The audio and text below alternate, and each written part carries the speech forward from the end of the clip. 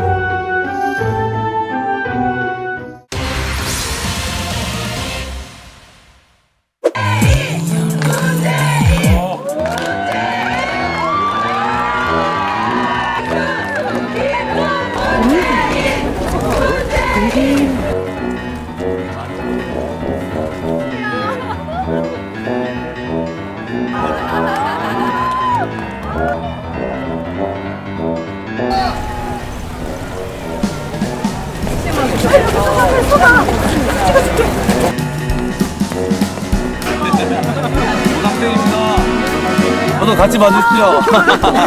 너무 좋아하시는데.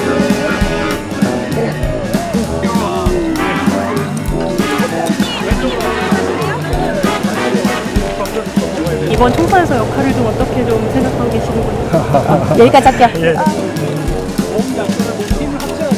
지금처럼 이렇게 못하는 정부는 처음 음, 봅니다.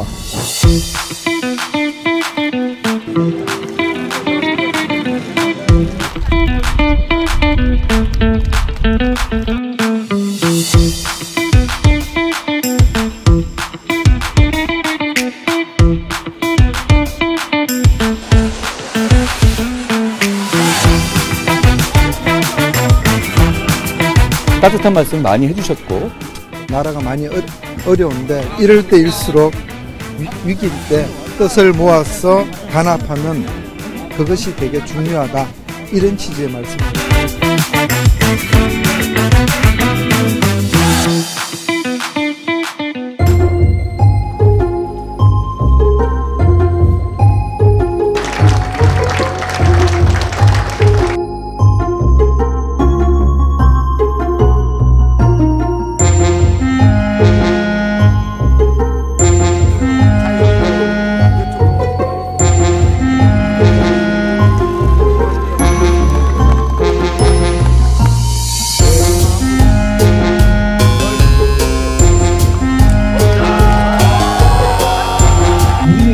기억력을 우습게 보는 것 같습니다. 문재인 정부 당시에 나라가 망해갔던 거 기억 안 나십니까?